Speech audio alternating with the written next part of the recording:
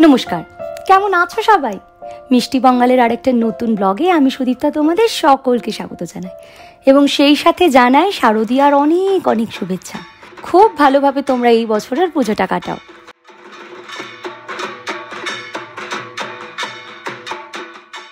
আজ আমার নতুন বাড়িতে প্রথম রান্না বলতে পারো। তাই ব্রেকফাস্টে ওই বাঙালিদের সিম্পল খাবার মানে ডিম পাউরুটি বানাচ্ছি। অবশ্য নিজেদের জন্য কিছু না বানালেও রিহানের জন্য রোজই এটা সেটা তো করতেই হয়, বলো। কারণ ও তো বাইরের কোনো খাবার খায় না। এই সব কথা তো চলতেই থাকবে। আগে বলো তোমাদের পুজোর শপিং কমপ্লিট এখন তো পুরো বাংলা জুড়ে শুধু উৎসবের আমেজ। চারিদিকে পুজো পুজো গন্ধ। আমি শিওর তোমাদের মধ্যে অনেকেই আছো যারা কিন্তু অনেকগুলো ঠাকুরও এতক্ষণে দেখে ফেলেছ। আর হবে নাই বা কেন বলো তো? আমরা বাঙালিরা সবাই তো এই কটা দিনের জন্য ওয়েট করে থাকি সারাটা বছর ধরে। সেটা পৃথিবীর যেখানেই থাকি না কেন। তবে পুজো এলেই আমার মনটা ভীষণ খারাপ হয়ে যায় জানো? ওই যে বাড়ির কথা, কলকাতার কথা মনে পড়ে যায় যে বড্ড।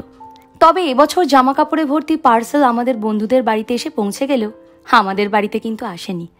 অবশ্য সেটার জন্য এবছর মন খারাপও কিন্তু হয়নি। দাঁড়াও ব্রেকফাস্টটা রেডি হয়ে গেছে, আগে গিয়ে তন্ময়কে এটা বরঞ্চ দিয়ে আসি। বলতে পারো একটু ঘুষ দিতে যাচ্ছি। খাও আর আমাদের টিকিট বুক করে দাও।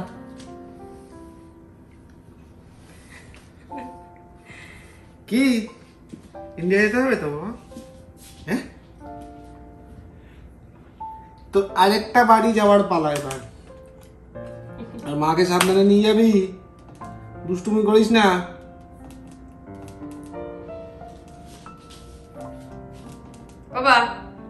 এটা খুব সাবধানে ঠিকঠাক করে মাথা ঠান্ডা রেখে কাটতে হবে। নইলে চাপা দিবি, কলকাতার বদলে অন্য কোথাও পাপা টিকিট কেটে দিয়েছে। তাড়াতাড়ি আমার কোলে আয়। বাবা বাবা, কোলে আসে। চলে আসো। রিহানকে বরঞ্চ এখানে একটু খেলতে দিয়ে দিই। ও না হলে বাবার কাছে থাকলে বাবাকে একটুও কাজ করতে দেবে না। আর আমিও সেই সময়টাতে বরঞ্চ লাঞ্চটা বানিয়ে নিই।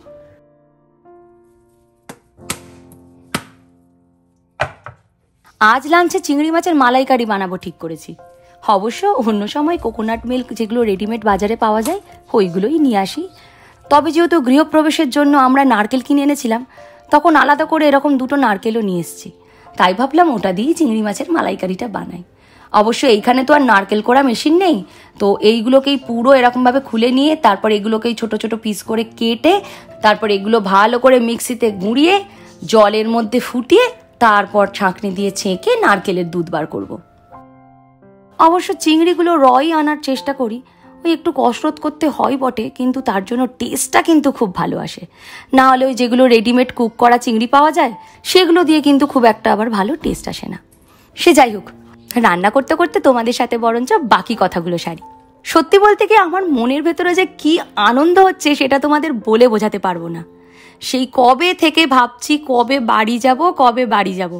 আর বাড়ির মানুষেরাও তো কবে থেকে অপেক্ষা করে বসে আছে যে নাতিকে কবে কোলে নেবে? সত্যিই তো তাদের তো বয়স বেড়েছে, তাই না? তারা তো চাইলেও এখানে আসতে পারে না যে।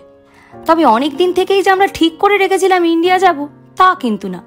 বলতে পারো দুম করেই ঠিক করে ফেলেছি বাড়ি যাবার কথা। আসলে আমাদের যেটা ঠিক ছিল সেটা হচ্ছে ক্রিসমাসের ছুটিতে আমরা ইন্ডিয়া যাব। এবং ওখানে তিন মাস মতো কাটিয়ে তারপর আবার ফিরে আসব তন্ময়ের সাথে। কিন্তু প্রবলেমটা হচ্ছে যে তন্ময় এক মাসের বেশি ছুটি পাবে না। তাই আমাদের এরকম প্রবলেমের কথা ভেবে রিহানি বলল, ওর বাবাকে মায়ের সাথে যেতে হবে না। ওই বরঞ্চ মায়ের সাথে একাই যাবে। হ্যাঁ আমি আর রিহানি যাব। আর একা যাবার পেছনে কিন্তু আরও একটা বড় কারণ আছে।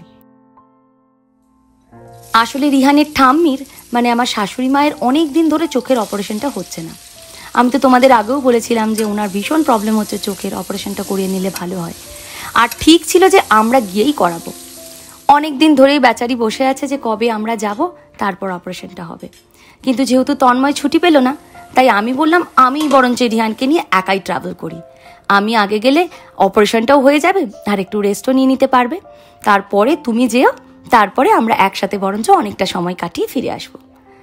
আর দূরে থাকলেও বাবা মায়ের দিকটাও তো দেখতে হবে, তাই না? হ্যাঁ একটা সময় পর তো ওনারাও ছেলে মানুষ হয়ে যায়। আর তখন এই রকমভাবেই ম্যানেজ করতে হয়। তাই দুম করে বলতে পারো রিক্সটা আমি নিয়েই নিলাম। তবে যাব কিন্তু একদম পুজোর আগেই।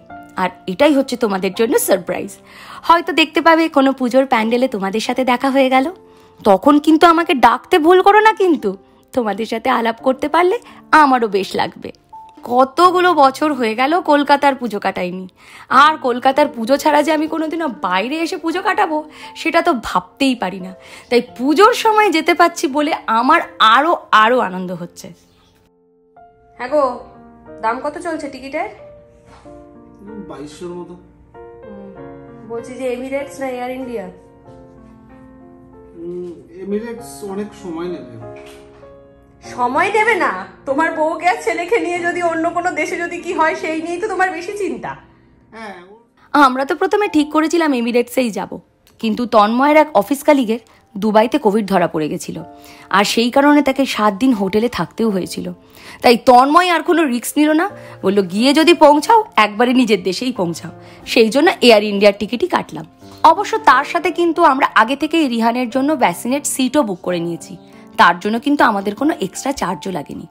আমাদের মোটামুটি টিকিটের এই ওয়ান ওয়ে ট্রিপ লেগেছে বাইশশো ডলারের মতো। ওই এক লাখ চৌত্রিশ হাজার থেকে চল্লিশ হাজার, কারণ রিহান যেহেতু ইনফ্যান্ট সিট অন ল্যাপে যাচ্ছে, সেই কারণে ওর জন্য অল্প কিছু টাকা লেগেছে।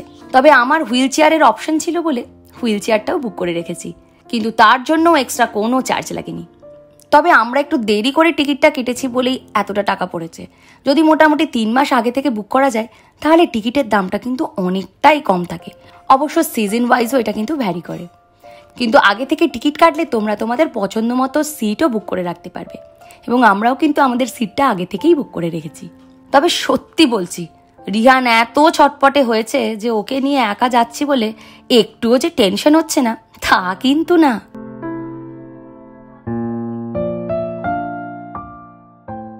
ব্যাস, আমাদের মোটামুটি লাঞ্চ রেডি হয়ে গেছে। এবার ভাত দিয়ে কিন্তু এটা জমে যাবে। চলো, এই ফাঁকে বরঞ্চ একটু রিহানের ঘরটাও গুছিয়ে দিয়ে আসি।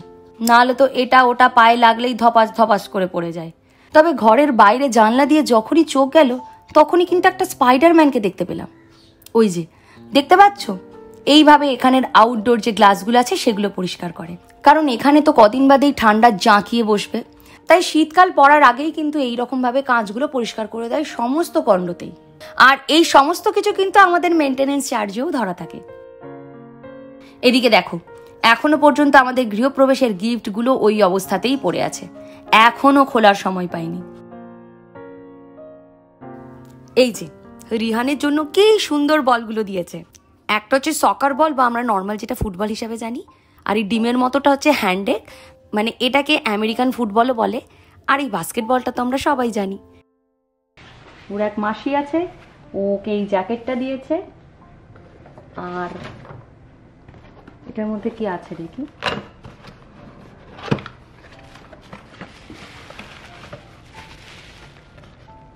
ও বাবা, এই দেখো। এইসব আছে। আর এইটা মনে হয় নাইট ল্যাম্প আছে। তো দেখে তো মনে হচ্ছে যে এইরকম। এরকম ভাবে এটা সেট করতে হবে। এইটা এইরকম দেখতে হবে ভিতর থেকে। বাড়িতে শুয়ে শুয়েই ও চাঁদে চলে যাবে মোটামুটি। দারুণ হয়েছে গো মেঘা। ভীষণ সুন্দর হয়েছে। আর একজন দিয়েছে মিকি মাউস এরকম একটা সুন্দর পিলো আর এরকম একটা সেন্টেড ইয়ে দিয়েছে ক্যান্ডেল দিয়েছে। আর এগুলো তো এখানে ভীষণ কাছে লাগে। আর একজন দিয়েছে এরকম সুন্দর একটা টি পট মানে পুরো এটা একদম চা বানিয়ে খাওয়া যাবে। চা পাতাগুলোও দিয়ে দিয়েছে, এখানে গ্রিন টি আছে। এটা কি? এটা এটা নর্মাল একটা চায়ের পাতা। এটা হচ্ছে মিন টি দারুণ হয়েছে। আর তন্ময় তো ভীষণ চা খেতে ভালোবাসে। ওর ভীষণ পছন্দ হয়েছে এটা। কি বলো?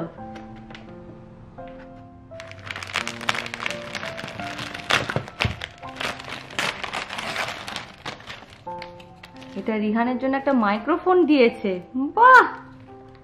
দারুণ হয়েছে। এটার মধ্যে ও সব মানে যেগুলো বলবে, সেগুলো মনে হয় শুনতে পাবে। বাহ, দারুণ হয়েছে এটা।